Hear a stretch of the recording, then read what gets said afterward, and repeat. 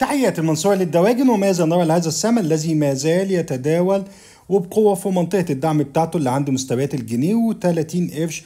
ودي مناطق انعكاسية أتوقع إن ممكن تتراجع منها الأسعار وما زالت النظرة سلبية لهذا السهم لأنه ما نهاش تصحيح. إحنا قلنا السهم ده عندنا أكتر من هدف كان عندنا هدف على الجنيه وربع وكان عندنا هدف عند الجنيه و33 قرش والهدفين اتحققوا. إحنا كان عندنا هدف إحنا قلنا الهدف ده وقلنا الهدف ده والهدفين اتحققوا وحققنا مستويات ال 200 Fibo. طيب أنا مستني مستني يحصل تراجع حقيقي يقرب بيا مرة أخرى لمناطق الانعكاس مناطق البيجس four بتاعتي اللي المفروض من تحت جنيه و8 قروش لحد مستويات الجنيه و3 قروش ودي أفضل أماكن لشراء السهم. ابدا من السهم لو السهم كسر المناطق واستقر تحت منها اللي هي مستويات الخمسة الجنيه يعني اللي هو 99 قرش بالظبط.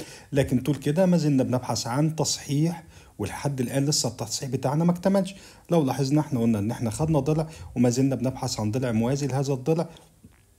وأعتقد أقرب مكان هيتراجع منه الأسعار هي منطقة الطلب اللي تراجعت منها الأسعار أكتر من مرة فما زلت شايف إن إحنا قد نعود لعد اختبار ما قبل المعاودة مرة أخرى باستهداف قمم جديدة وما زلنا ننتظر ماذا سيحدث في المناطق دي اللي عند مستويات الجنيه وخمس قروش لحد مستويات الجنيه وثلاث قروش وبالتوفيق.